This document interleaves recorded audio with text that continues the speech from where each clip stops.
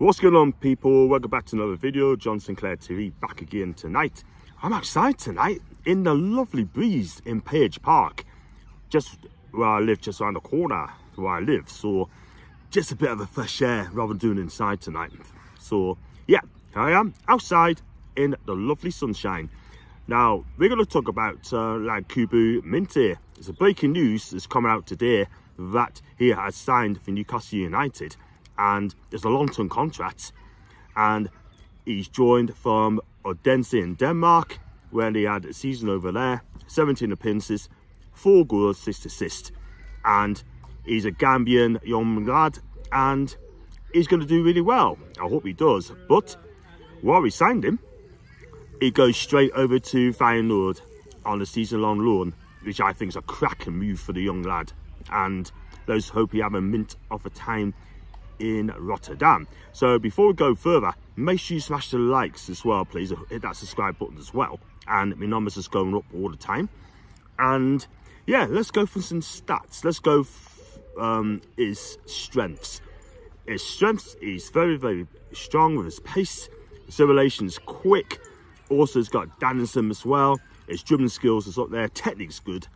And also agility and creativity is really strong and sometimes it's negativity is he can be overthinking it a bit trying to do too much. But he's a young lad he's a young kid and he's gonna come really really good. He's quite similar to Moussa Diaby as well but obviously he costs seven million quid. Well six million quid as I speak. And his position he can play as a winger he can play as a second striker and he's left-footed as well and I think we're going to get uh, fun with this kid as well. And in future years he's going to be really really good. And he had a market transfer market um, market value 100,000 pound but that's a bit of a false statement that he came 6 million quid.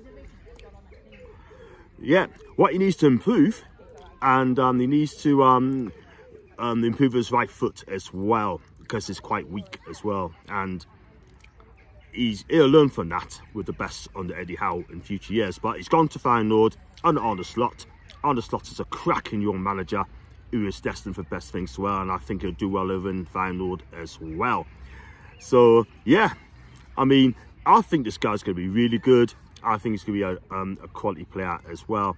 And Dan Ashworth has come out and he made a statement. He said, we look forward to working with him in this exciting phase of his development and we're excited to see how he performs at Feyenoord, a club that also has a strong development record of its own. He added, as well as supporting the first team with players, but here now we have a clear philosophy to invest in emerging talent and we want to provide a player pathway that will help to build a sustained long-term success. I think what we do with um, him and Garang Kuol as well is send him out on loan to make him better players to develop as well. Because obviously they're not going to be playing first team football at Newcastle United. But at the end of the day, I think we're going to have uh, cracking young players in the future. Dan Ashworth's doing a grand, fantastic job. We're not paying over the odds on these players as well, which costs a ridiculous amount of money.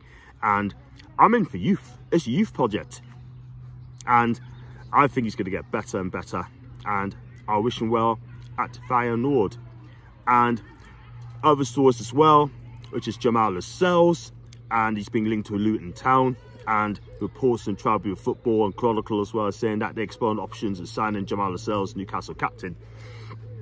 In my opinion, I think he needs to be playing first team football and I think he needs to be moved on because he's not going to get in the first team, not the way Botman and Schär's been playing over the season. And look, it's a bit of a shit house. We, we love him for that. He's been with us since 2014. And listen, he stayed with us in the championship under Rafa Benitez. And I like Jamal Lascelles, I really do. He's an honest player, yeah? And he has his faults by making mistakes, getting done for pace. And, you know, gets caught out quite a few times. But when he tackles, he's a good tackler. And for me personally, 30 years old, I think he needs to be playing in the first team. So listen, if he goes to Luton Town, if they follow up their interests, then I wish him every success. But me personally, I think he wants to go back to Nottingham Forest if they come calling for him. but at the end of the day, that hasn't happened as yet.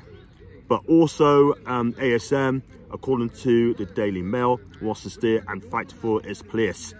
Now, there you go. That's what he's saying. But at the end of the day, that's what Simon Jones in the support has been saying. And you know what?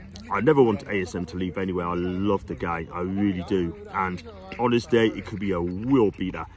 And I just hope that um, he stays and promise what he's going to do. So things can change in football.